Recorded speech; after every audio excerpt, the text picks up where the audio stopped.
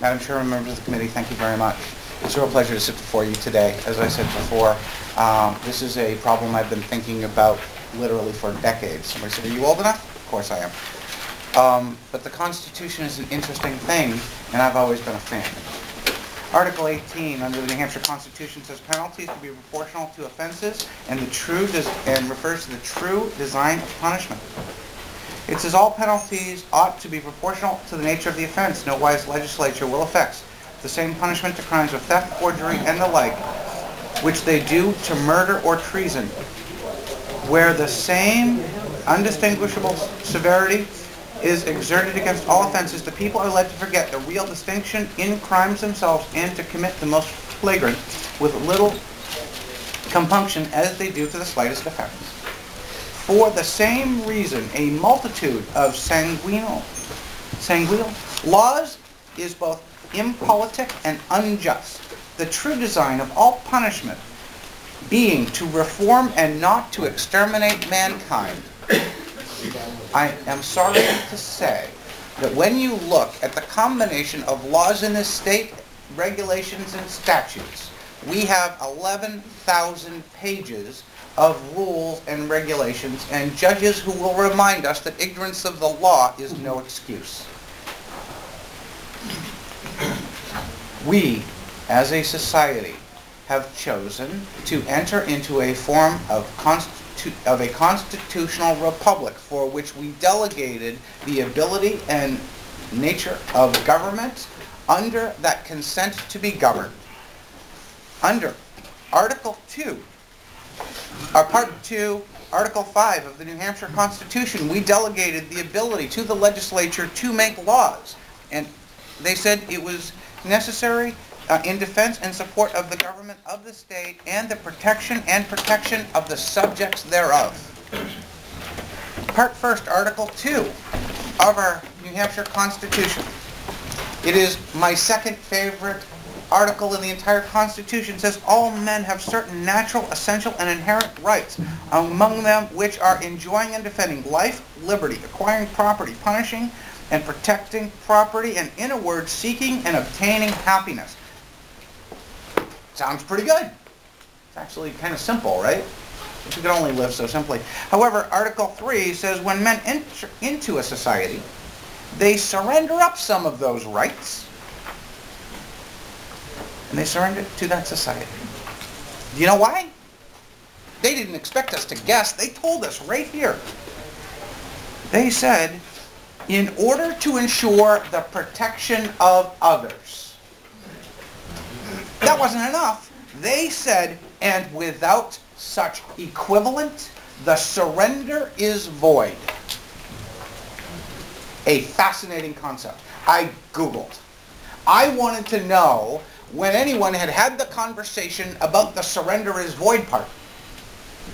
If I'm giving up my natural rights, why is it that, what am I getting in exchange?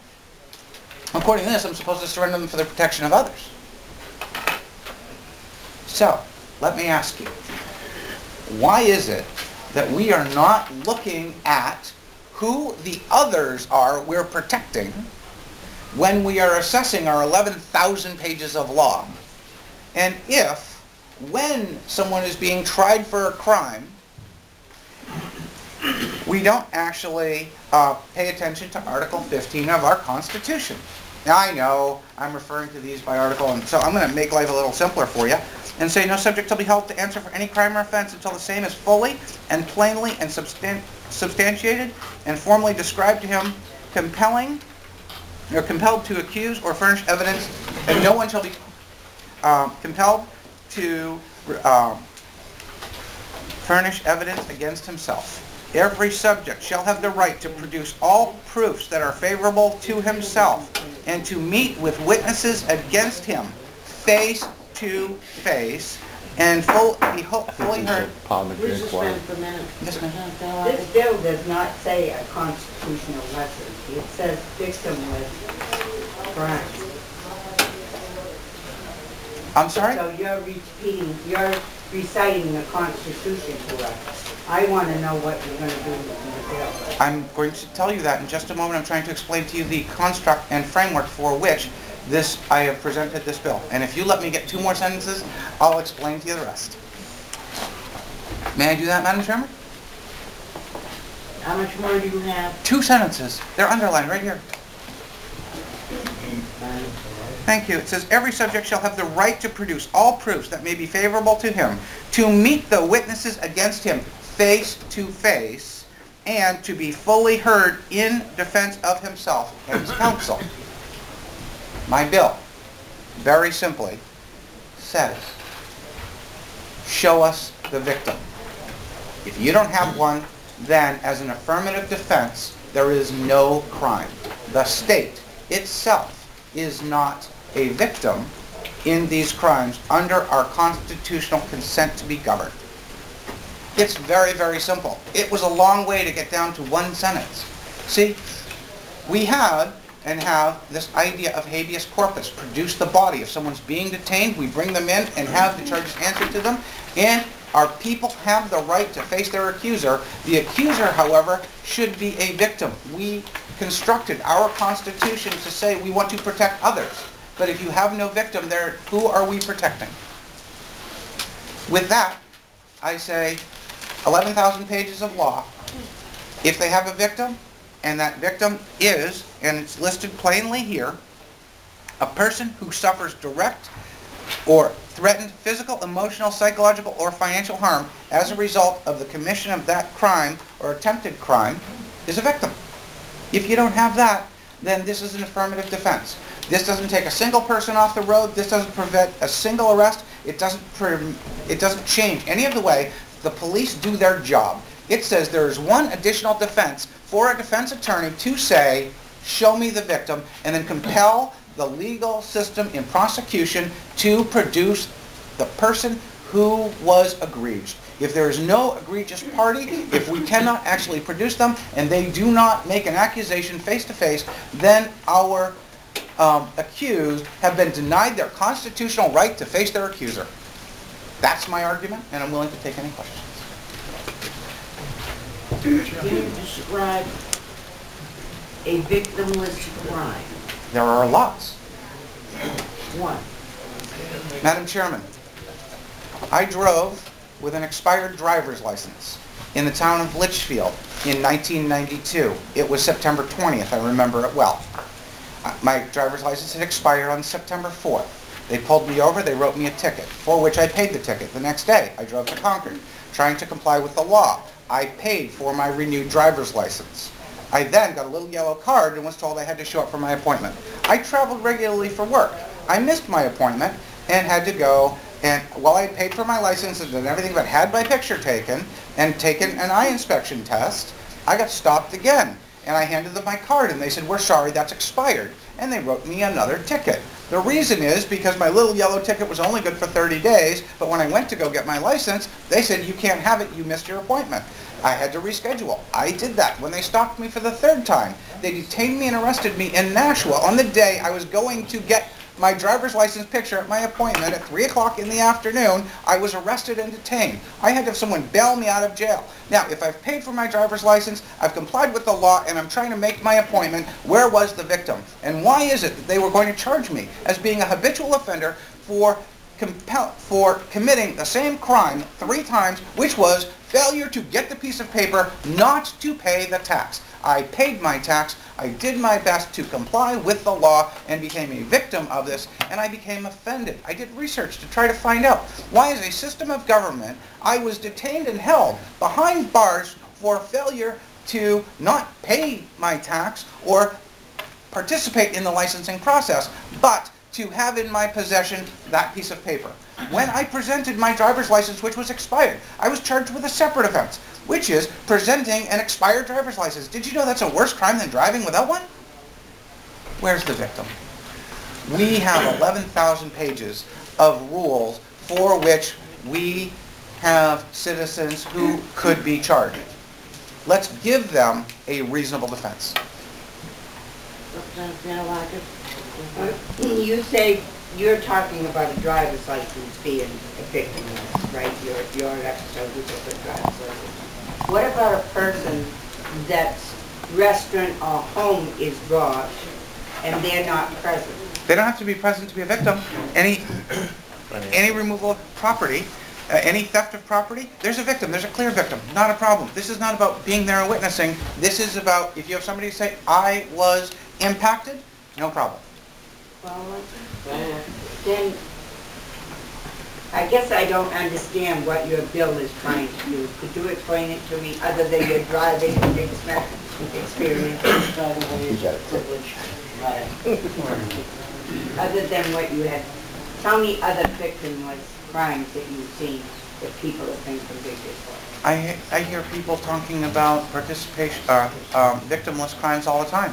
If you have someone who's driving down the road at, at three o'clock in the morning and is speeding, then they're, uh, and they're not putting anyone at risk, why is a speeding issue, um, a, something that we have a victim for? There, there is no one offended by the particular implementation of that law. And that's another example. There are hundreds and hundreds of examples. But you're, when you're speeding, you're breaking the law.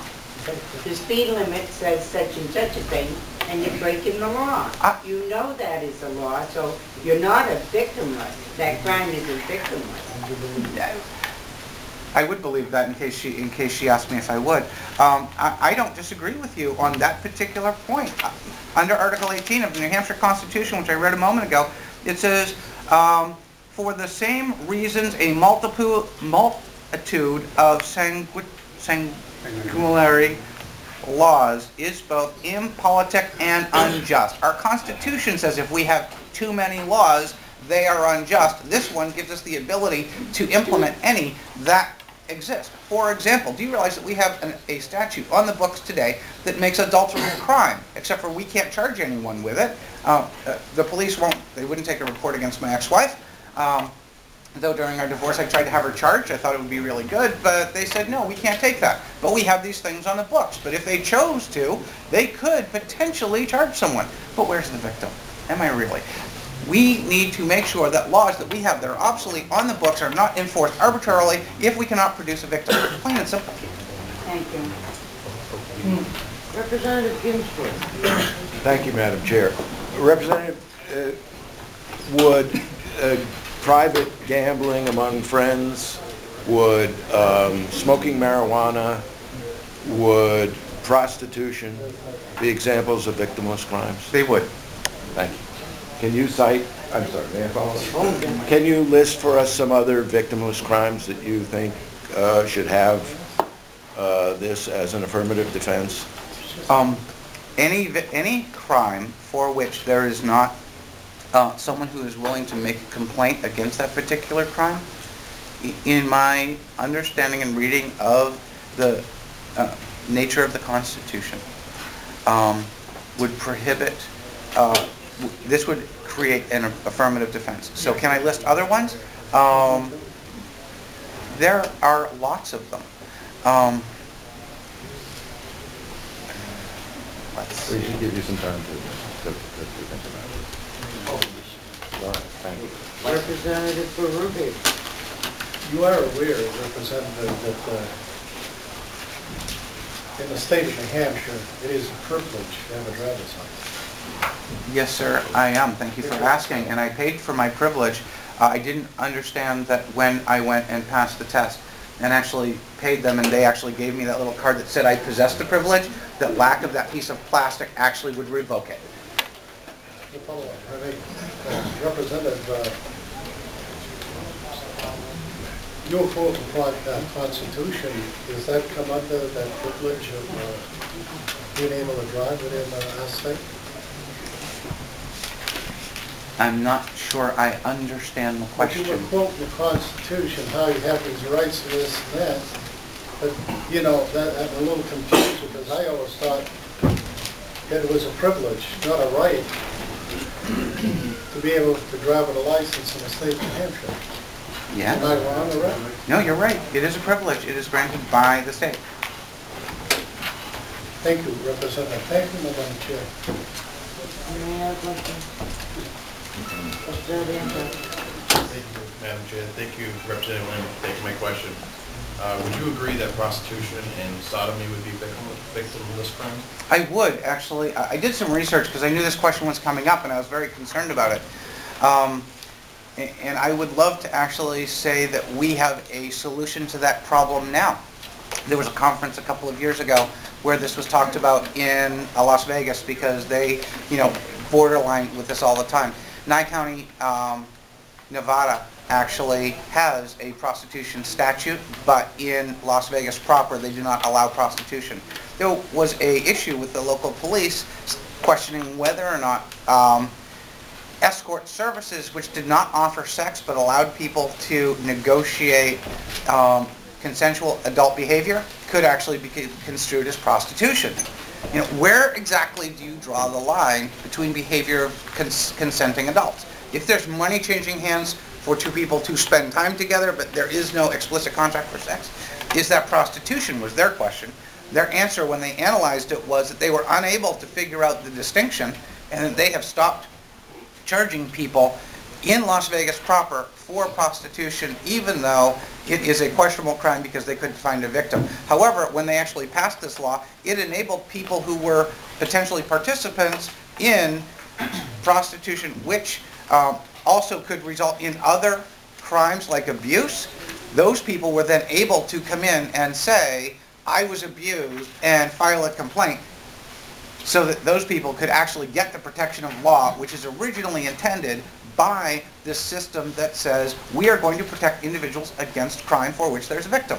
If we have a victim, there's an easy charge. If not, and you have no one to complain, why is there? Follow-up. Would you believe that many people would choose to disagree when it comes to sodomy, that it has not affected society as a whole? I have no um, specific context for which to um, agree or disagree. I do know that um, the people who came to this nation to found it had this idea that they did not wish to be overly regulated or have their behavior dictated. They wanted freedom. They wanted the ability to live by themselves. And we have a old saying here in New Hampshire that is hundreds of years old. Good fences make good neighbors. And within my property, what I do is my business. This is why when you walk through the forest, you will find these little stone walls that you can't explain. Because everybody separated themselves and they ruled and regulated themselves, came up with a constitution that allowed them the protection from the abuse of others, not from their consensual behavior. Follow-up, Madam Chair. Thank you. So what, the way you're pretty much saying is that anybody that uses drugs or creates type of, so- uh, creates, uh, participates in sodomy, that that act would not affect society health-wise. Actually, uh, That would create a victim, does it? would it not? I, I don't know if it would, and if it would, then that would certainly be a concern, and if, if the victim was willing to go out and make a complaint, then, you know, certainly they could be heard in court. The problem that we have right now is that, as I said in the adultery statute, you know, where is the victim? We have a defined crime, but if we can't present a witness, then there's no face-to-face challenge. You bring a face-to-face challenge, the judge will hear. This is not changing the way that we arrest. This is not changing the way that the police behave. This adds an exception and reasonable defense to a defense attorney that says, show me the victim. That's all we're asking for. That's all I'm asking for in the law. I believe it's clear in the Constitution that the intent and construction allowed us to have face-to-face challenges of the people who were accusing us and why they were harmed. We are a society that is constructed based on contractual agreement. The people of this state, based on their previous, the previous residents, consented to be governed under these rules and regulations. That's a contract. If there's a violation of a contract, it should be heard in court. If there's not, why are we chasing these down? Thank you very much.